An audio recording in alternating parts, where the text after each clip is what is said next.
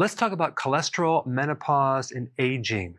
As we get older, our cholesterol does go up. Typically, men have higher cholesterol than women, but during menopause, there usually is a spike in cholesterol in women. Now, before I get too much into that, I just want to let you know that the body does make cholesterol. It makes a lot.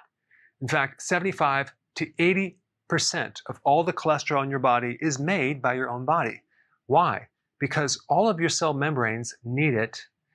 Also, cholesterol is required to make bile, vitamin D, and sex hormones, estrogen, progesterone, testosterone, cortisol, and there's several other hormones. But the question is, why would a female going through menopause have an increased uh, amount of cholesterol? Well, it has to do with this hormone right here, estrogen. As the estrogen decreases during menopause, which happens dramatically and significantly, you're going to get an increase in cholesterol because estrogen acts as an antioxidant. And as we have less antioxidants, we're more susceptible to getting damage in the arteries, in different parts of the body. And so you really want to look at cholesterol as the fireman to put out the fire. So cholesterol is really a band-aid to come in there with the help of calcium and some protein to seal the lesion or the inflamed, damaged artery. And so to understand cholesterol very simply, you have two types. You have LDL, HDL. These are proteins that are transporting the cholesterol in and out of the liver. So the LDL, which is considered the bad cholesterol, is really transporting the cholesterol from the liver to the cell. And the HDL, which is considered the good, is transporting it back from the cell back to the liver for recycling. So as long as we have an exchange there, we're totally fine. Now, I've done videos on this recently. When you have high LDL, what you have to realize is there's two types of LDL.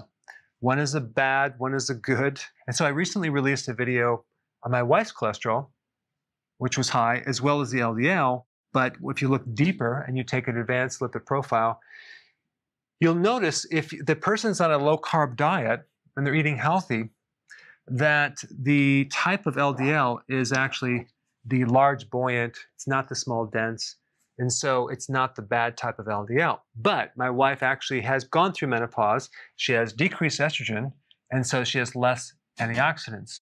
And so one of the things she does is she eats a lot of food with antioxidants, which I recommend to everyone.